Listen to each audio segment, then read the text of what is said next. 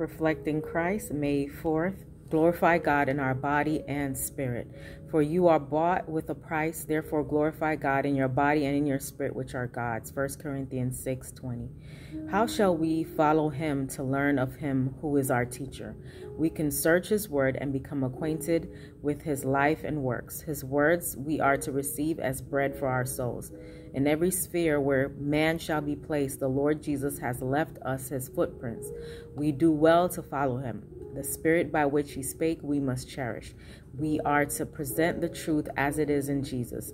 We are to follow him, especially in heart, purity, in love. Self must be hid with Christ in God. Then, when Christ, who is our life, shall appear, we also shall appear with him in glory.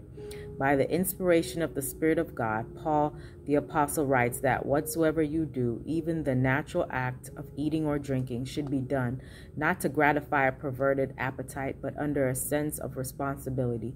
Do all to the glory of God. Every part of the man is to be guarded. We are to be beware lest that which is taken into the stomach shall banish from the mind high and holy thoughts. May I not do as I please with myself, asked some, as if we were seeking to deprive them of a great good, when we present before them the necessity of eating intelligently and conforming all their habits to the laws God has established. There are rights which belong to every individual.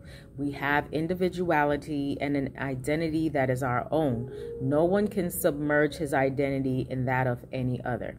All must act for themselves according to the dictates of their own conscience. As regards our responsibility and influence, we are amenable to God as deriving our life from Him.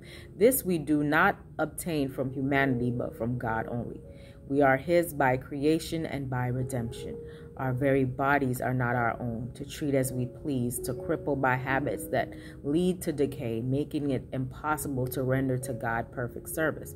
Our lives and all our faculties belong to Him. He is caring for us every moment. He keeps the living machinery in action. If we were left to run it for one moment, we should die. We are absolutely dependent upon God. A great lesson is learned when we understand our relation to God and His relation to us.